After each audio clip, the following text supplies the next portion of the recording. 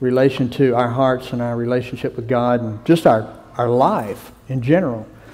Um, about the hardness of the heart. If I were to ask you this morning, how tender is your heart? You would answer, Oh, I'm okay. And a few of you would, would get mad that I asked the question if I really could ask it to you personally in a pointed way. As a, as a believer, when I witness to people, minister to people on a one to one level, which I do that not because I'm a preacher. I, I had a, uh, you know, at the real estate office this week, I preached a one hour sermon to, to the rest of the realtors that were there. They pulled chairs up and sat around, and man, we, we rolled. I, I went literally, because I had a variety of, of different faiths in there, I preached from Genesis 1, I guess, all the way to Revelation.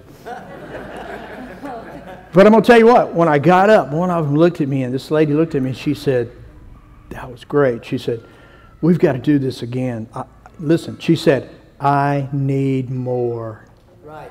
Now, this is a believer. This is a woman who's a believer. listen, people need more. Yes. They need more of what we have. Yeah. That's right. They need what you have. You need to overflow. And how that came from rain and hardness of heart, I don't know. But listen, you need to overflow. What's inside of you can so saturate the world around you that, man, it will be satisfied with the love of God. Amen? Amen. Amen. Before I start preaching the wrong sermon, let our next generation guys go. Y'all can slip out. And I'm going to go ahead and jump right in because we have, we're, we're a little pushed for time today. Turn to John chapter 13. John chapter 13. Anyone ever been betrayed by someone? Let me ask that question another way. Is there anyone here who has never been betrayed by anyone? Raise your hand.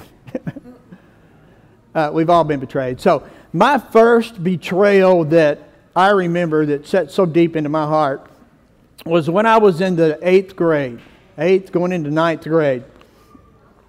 I fell madly in love with a young lady in the youth group. The most beautiful thing I'd ever seen in my life. And she was actually attracted to me, whether you can believe that or not. And so, man, we became a thing. And it was a short thing, Sam.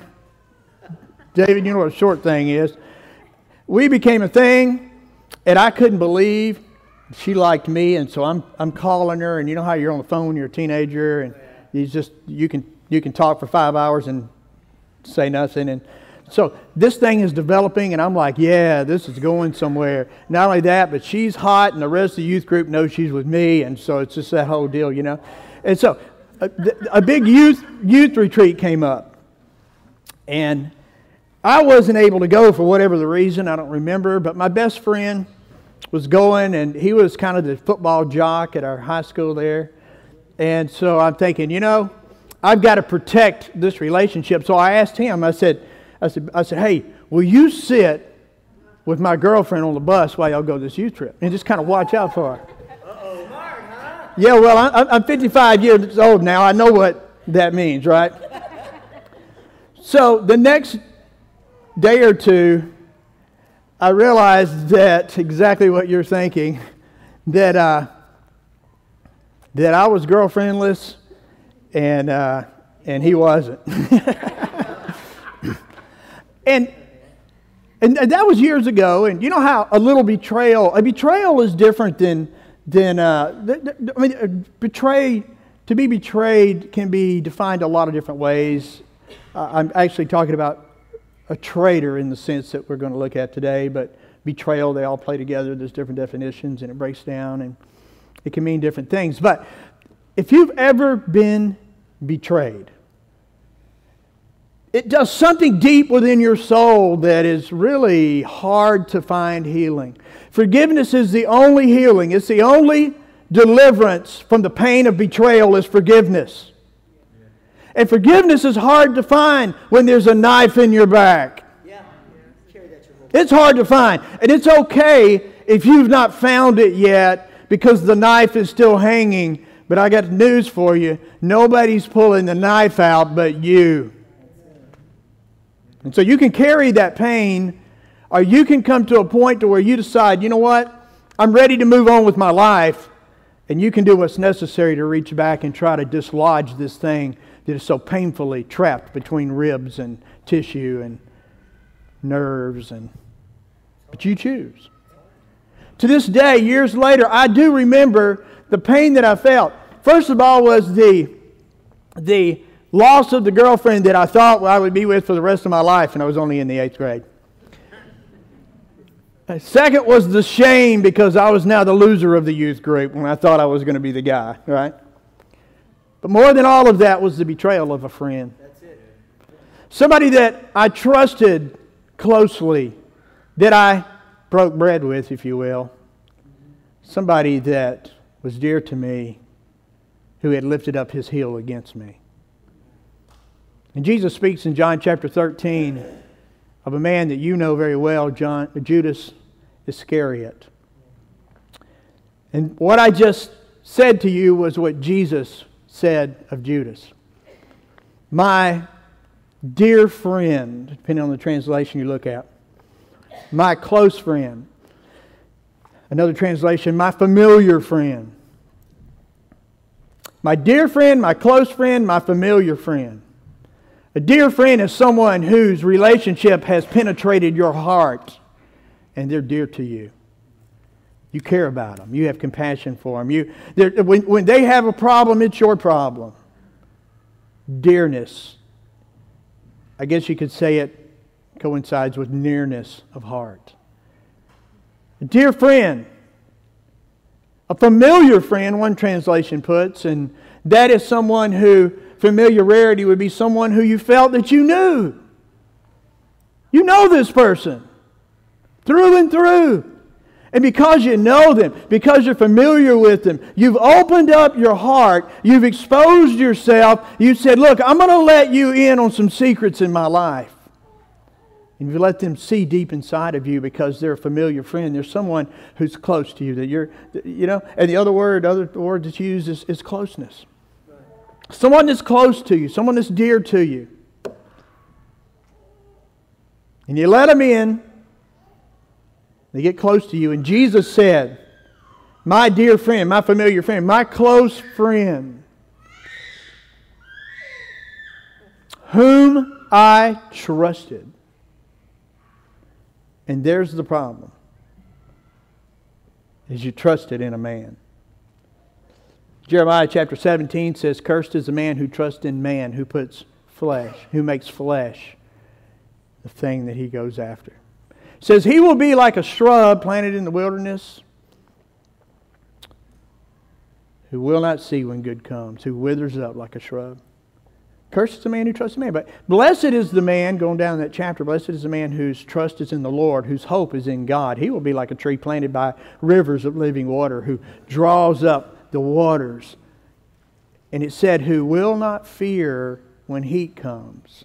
See, if we're planted in the house of the Lord, another psalm, you bring all this together. If we're planted by the rivers of living water, if you're planted by the river, like Psalms chapter 1 talks about being planted by the river, if you're planted by the river, when the hottest, most difficult circumstances and situations come in your life, you're still going to be drawing that nutrient, that, that, that uh, water, if you will, for your soul. You can maintain your spirituality. You can maintain your soul had someone I was talking to this week who's going through a difficult time with a with a person that he deeply loves who has done some really hateful, evil things. And he said to me, She's just become so ugly. She's an ugly soul to me now. And I thought, man, if that doesn't describe what we can feel about people when they have, in some sense or another, betrayed us, they're an ugly soul. Now, this is a beautiful person he's speaking of. But somehow down in their heart, his heart, he's begun to see what to him is an ugly soul. Do you understand what I'm saying when I, when I say that all of a sudden you see beyond the flesh? You see past the face, the physique. Not that I have one. You see past the flesh, and all of a sudden, all you see is a soul. You know, really and truly, when you get to know somebody, when they become your close friend, when they become your familiar friend, the one in whom you trust, that's really all you see anymore. That's true. You know, the Bible says beauty is fleeting. And so, when you're as young as I am, you realize how things change. I know I'm an exception to the rule, but most people that are 55 are not as pretty as they were when they were 25. Things change. My wife and I look at each other and we talk about how we have changed from the worst to the better. And I'm, it's amazing to have a wife who still looks 35 or 40 when she's, when she's 41. And, uh, but you know, you have to be real. And this is a neat thing about being in a relationship. Whether it's if you've been at New Life Church for 15 years with us, there's a relationship there if you've known us that long. I look around, I see some of you that have been with us all these years, been faithful, walked, walked with us in the ministry. Whether it's that you've been in a marriage for a long time, or whether it's your siblings or whatever. But when you've known somebody for a long time, if they've become that trusted, close, familiar friend in whom you can trust, there's just something about that relationship that supersedes anything else in the world. And you no longer see flesh, you see soul. We have a men's uh, Bible fillet Bible study that we did. It started out, it was uh, Bible study. We met at McDonald's, uh, New Life Church, our men, those who, who uh, are able to be there on a weekday we did it for years over there. Then we went over Chick fil A and we did it for like two or three years or whatever. And we've been on a, a sabbatical, I guess, if you will, for the last four or five, since before Christmas. And we're going to be starting that back up. So, men, if, you're, if you are available on Wednesday mornings at 8.30, uh, meet us at Chick fil A and we'll have a Bible study together. But I, I was with these guys, a couple of these guys, Saturday. And when I left, I was thinking about how we have aged over the years that we've met together. And I thought, you know, it's odd that I don't see that every day when I see them and when they see me. We don't meet and look at our physical man. We meet and we look at the soul within us. And we've been through a lot together. Gary is one of them that I meet with, and, and Dennis is not here, and Pat meets with us, and, and there's others of you who have met with us and are planning to meet. And we've been through a lot together over the years. We've shared our family struggles and our uh, and the things that we go through. We've shared church difficulties and, and we've shared politics, and that wasn't always the best thing to do. It, it, it, but we've, we've gone places together. And so now when I sit with these guys, I see souls. Yeah. Right, Gary? Right, guys? Roger's one who comes when he can. And, and I see souls. I don't see the face. I don't see the bald head. I see a lifetime of walking together, or at least a long experience. I see souls. And so when you get close to somebody on that level, and even greater in other relationships, there's a tie that, that we, we refer to as a soul tie, where the Bible talks about David looked at, at uh, Jonathan and he loved him as his own soul. It's something much deeper than, than surface things. It goes deeper. It endures more. It's forgiving, forgiving more. Man, my wife is capable or able and does forgive me of things probably every on the hour when we're together. But she forgives me and it comes easy now. When we first got together years ago, it wasn't as easy. How many of you know when you first get married or first have a relationship, you can battle with somebody because you love them so much. To you fight to keep that relationship. And that's why people, that's why counselors say, oh, you need to have a good, healthy fight every now and then. No, you don't. All that's saying is you, you just need to learn to communicate. And some people, when you're first in relationships early and young, you can't communicate unless you just fight through the ugly stuff and get back down to the nitty gritty. And then you can make love and make up. And it's all good, right? You're a boring crowd today. Okay. But y'all hear what I'm saying? There's a soul. I, I, there's a verse of scripture in the book of Job. It's talking about one of the particular men who was one of Job's friends. And he said to the other guys, he said, and this is very simple, but he said, there is a spirit in man. Now, see, we have a hard time uh, theologically deciphering between soul and spirit. The Bible talks about the Word of God. It says it's sharper than a two edged sword. It's able to divide what pierces to the depths of the heart. You know, it's, it's alive, it's active, it's powerful. Talking about the Bible, the Word of God. It's just, it's powerful. And it says the Word of God is able to divide, to separate between bone and marrow, the fleshly man, and soul and spirit, cutting even to the intentions of the heart. That the Word of God, God speaking into your life, if you'll have an ear to hear, is able to divide for you what is you and what is God, what is good and what is not, what is right and what is wrong, all the way down to the reason and the motive that you're thinking that thing. And that's God. And so there's a soul in man. There is a spirit in man, quote unquote. And when you connect on that level, in, in, marriage, the Bible says, For this cause shall a man leave his mother and father and cleave unto his wife, and they twain, the two of them, in other words, shall become one. It says flesh. Now you go into 1 Corinthians chapter 5, and it says this it says, He who joins himself with a harlot is one with her. So obviously, he was talking about sex. So make no mistake about it. Something happens in the act of sex, sexual intercourse, that caused two people of flesh to become one flesh. That's what God said. And it carries over not just in your marriage, in any sex you've had with anybody. Well, male and female sex. There's something that happens there. It's a, it's a bonding in the soul. It's a, sorry about that, baby. They're covering their daughter's ears up. I don't say these things often, maybe every other week. I'm kidding.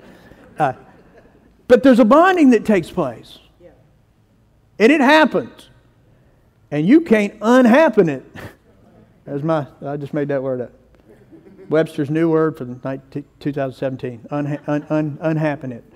You can't stop it. It's going to happen. It did happen if you had outside of marriage. It did and you got a problem. And the problem is you need healing. And that thing needs to be broken off. And if that happened and then that relationship broke, there was betrayal. And that betrayal was either on your part or their part, but there was betrayal. And betrayal is a tearing away, uh, in essence, when it comes down to whatever act there was to cause the betrayal, it's a tearing of the souls from one another. And we've all experienced it. And I felt it all the way back from a teenager, and it was just a, an infatuation relationship. But I felt it deep. The, the, the definitions for betrayal, a, a few of them, is this to give information about a person, a group, a country, etc., to an enemy. You betray your country when you give over secret information to the other country. It can be, another definition, to hurt someone who trusts you, such as a friend or a relative, by not giving help or by not doing something morally or by doing something morally wrong. Just to hurt somebody by not being there for them or not helping them or doing something morally wrong toward them. Another one is to reveal something that should not be revealed, to betray a secret. Probably all of us have had that happen. The best way to not get betrayed on telling on your secrets is don't tell secrets. Let them remain a secret, right? Number four is to do something that does not agree with your beliefs or principles, etc. You can betray somebody by turning away from them because you're not in agreement. Um, probably, and I think you all are aware of this, and obviously time is running short, so I'm just going to do this quickly. The number one betrayal historically that is used throughout our country and I think all over the world to define betrayal. Often people will use the term, you're a Judas. Yeah. Judas is the man in the Bible who betrayed Jesus. Uh, in reality, we betrayed Jesus. But Judas was the man who walked with Jesus. So let me tell you just a little bit about Judas, real quick. Judas was chosen by Jesus. But Jesus knew who Judas was. You'll see it when we, we may not even get to read the scriptures. Just take my word for this. You can read John chapter 13. You can go to Psalms 49, 9, 9 41, 9 uh, Zechariah. There's a lot of different places it's mentioned as made of Judas, of this man. But for lack of, another, uh, of time, I just want to throw some things at you. Judas was a man. We do not know when Judas was called to follow Jesus. Now, we know when the others were called. Jesus passed by the fishermen and said, Come with me, I'll make you fishers of men. He said to Matthew, who was a tax collector, he called to come and follow me. He, we see when other apostles were called disciples to follow Christ. But we don't know where Judas came from. But we do know this his name is Iscariot. He's referred to as Judas Iscariot. Iscariot is a reference to a particular area in the Middle East in that time. And that area, these people were very, very strong activists in politics and religion. That area, that group, they were very strong, uh, zealous. They were called zealots, as a matter of fact. They were zealous about politics and religion, and they blended the two. And they believed that there was coming a time when their sect was going to rule and be powerful. So it's, it's thought, in, in, in theology, it's, it's thought that Judas Iscariot may very well have joined Jesus because he saw Jesus rising in the ranks, likely to become the next king. And he said, I'm going to jump on board while I can. I'm going to ride this pony, if you will. And so he jumps on board, but Jesus knew who he was, and we know this. We know that Jesus asked him to get on board because Jesus said, I chose all of you. And he said, But one of you is a devil. Why would Jesus choose a devil? What was that? To fulfill prophecy. That's exactly right. Took the words out of my mouth. Because it was prophesied in the Old Testament that there would be a man who would come in Actually, you know what the verse is? It's the verse that I quoted that Jesus quoted. My dear friend, my familiar friend, whom I have trusted, whom I broke bread with, has lifted up his heel against me. That's a quote from Psalm that Jesus then quoted when he was talking to the disciples about his friend. There's one of you right here that's fixing to. He said, There's one of you in this room right now while they're sitting around the Last Supper. He said, There's one of you right here that's going to betray me. And they all said, What? And everybody said, Is it I, Lord? Is it I? Y'all, y'all, most of y'all, a lot of y'all have seen that play. Is it I, Lord? You know, they're, they're doing that, that play. Is it I? Okay. And, and you know, the interesting thing was, everybody said, Is it me? But Judas. Right. Until the very end, of the conversation. Then Jesus, Jesus comes, Judas comes back and he said, Is it I, Lord? He knew it was him. And he also knew if I don't agree with all the is it I's, it's going to become apparent that it's me. Because the other guys wanted to know, Lord, am I going to betray you? I, I could never do that. My soul is tied with your soul. I could not do that to you. And Judas is sitting there, and he's already so minded on 30 pieces of gold that he don't even get what's happening in the room when Jesus is washing his feet. See, Jesus comes up to Peter. The Bible says, Jesus, knowing that the hour had come, that he should depart out of the world, having loved his own who were in the world, he loved them to the end. That's verse 1 to 13. Look at, look at verse 2 with me and supper being ended, the devil having already put it into the heart of Judas Iscariot, Simon's son, to betray him, Jesus, knowing that the Father had given all things into his hand and that he had come from God and was going to God, rose from supper, laid aside his garment, took a towel, girded himself, and after he poured water into a basin and began to wash the disciples' feet and to wipe them with a towel with which he was girded. And then he came to Simon Peter, and you know the story about Peter. So Jesus comes to Peter to wash Peter's feet and, and he, he, he bows down, he gets the bowl of water, however he did it, he washes Peter's feet. Peter says, No, you're not going to wash my feet. Never shall you wash my feet. You're the Lord of glory. Jesus said, If I don't wash you, you have no part with me. And Peter said, Oh, I'm sorry. I didn't get that. Not my head, not my feet only, but wash my hands and my head. I'm yours, Lord, whatever it takes. And Jesus said, Well, he who has been washed only needs to wash his feet. He said, But you are clean. He said, Peter, you're clean. Let me give you a quick explanation. I don't want to dwell on this because it's not the message. The explanation was Jesus was saying, I've already washed you. You're following me. Your sins have been washed.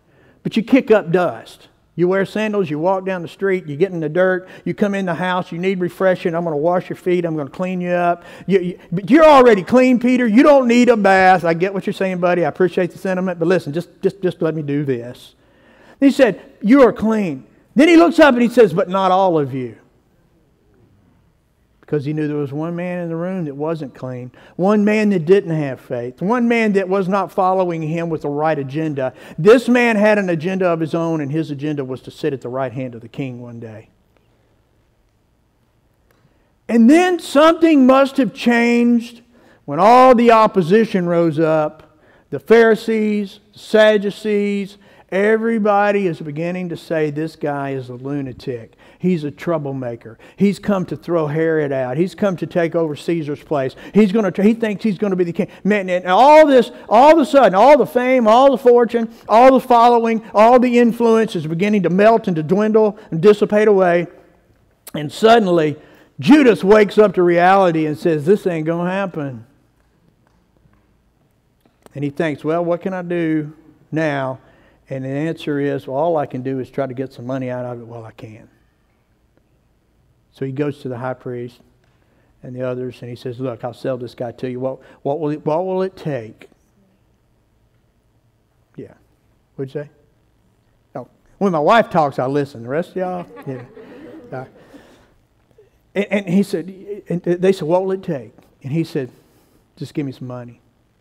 30 pieces of silver, which they say is equivalent to, in that day, four months' worth of, of an average salary.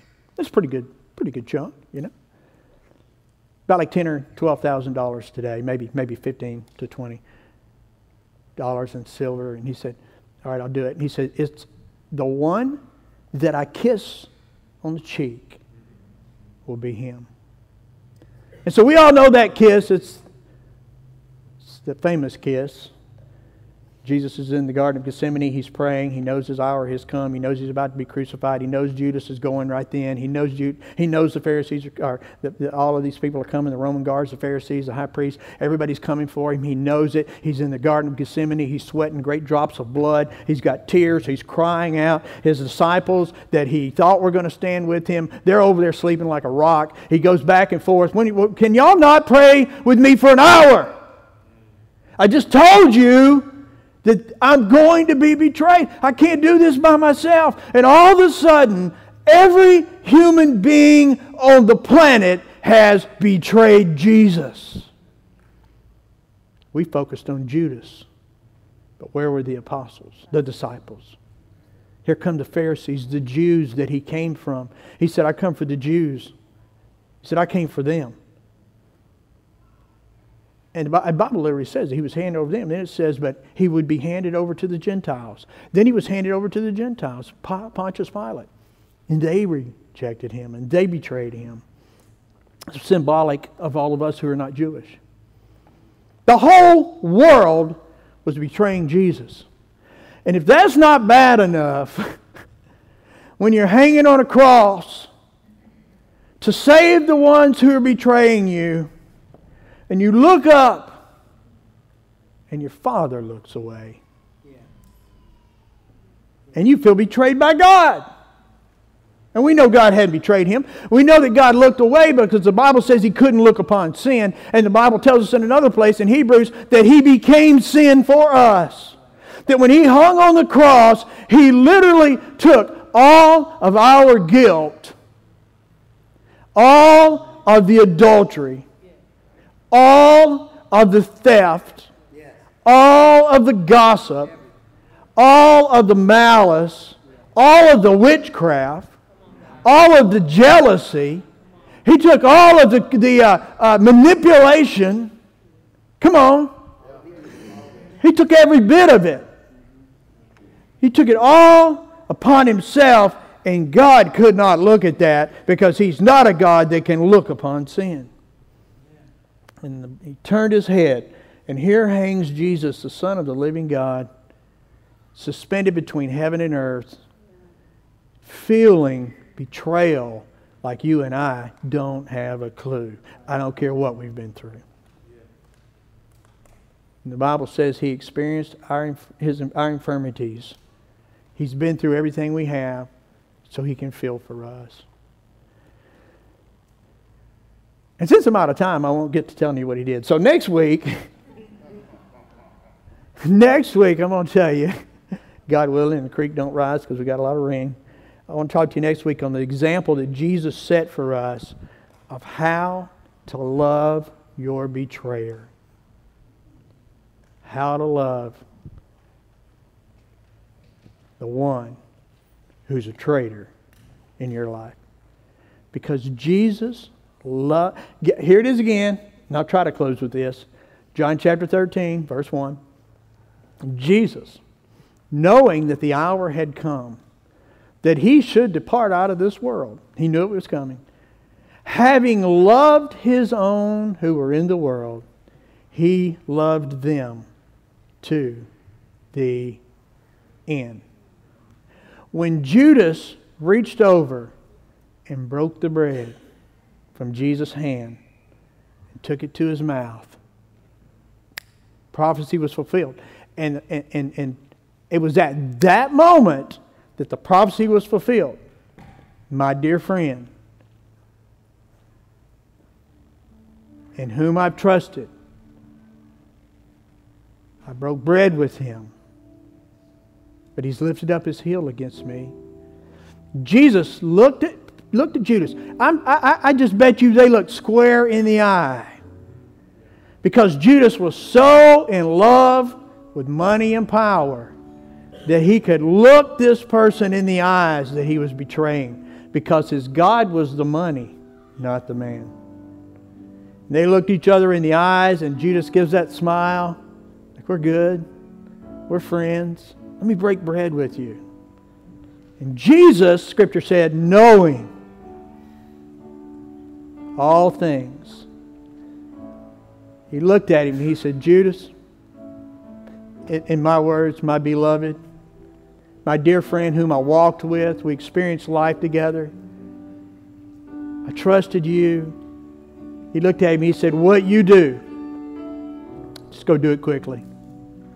Just go do it. And all the disciples thought he was talking about something he was to do with the money purse. Because he carried the money. He was a he managed the money.